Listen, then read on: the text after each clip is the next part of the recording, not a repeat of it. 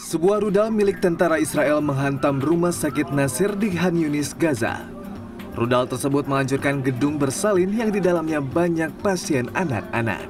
Akibat serangan ini, seorang gadis berusia 13 tahun tewas dan puluhan anak lainnya terluka. Juru bicara Kementerian Kesehatan Gaza menyatakan rudal tersebut menembus dinding gedung bersalin dan pemerintah Israel tidak berkomentar atas serangan keji ini. Sementara itu, Perdana Menteri Israel Benjamin Netanyahu bersumpah untuk bertempur sampai akhir dengan Hamas. Dalam pidato pembukaannya pada awal pertemuan kabinet mingguan di Tel Aviv pada hari Minggu, Netanyahu membacakan sebuah surat yang ia terima dari keluarga tentara yang gugur.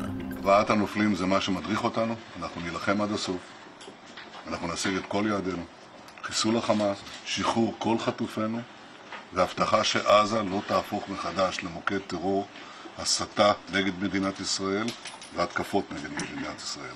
אנחנו נמשיך להילחם עד הסוף למען הנופלים ולמען הבטחת חיינו כאן, בארץ ישראל. תודה רבה.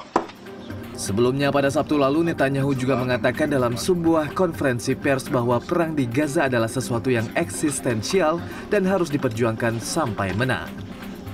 Ia mengatakan Gaza akan didemilitarisasi dan berada di bawah kendali keamanan Israel. Negosiasi baru kemungkinan sedang berlangsung untuk memulihkan sandra yang ditahan oleh Hamas. Sebuah sumber menyebut kepala intelijen Israel bertemu dengan Perdana Menteri Qatar, negara yang menjadi penengah dalam konflik Israel-Palestina.